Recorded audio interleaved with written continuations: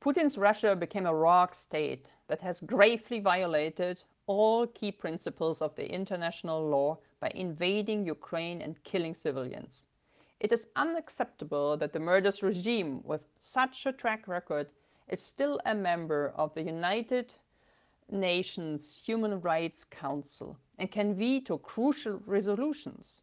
All crimes committed by the Kremlin in Ukraine, death of every civilian will be thoroughly investigated. The world will serve Putin's justice. Meanwhile, we need to continue supporting Ukraine by all means and continue isolating Russia from the civilized world.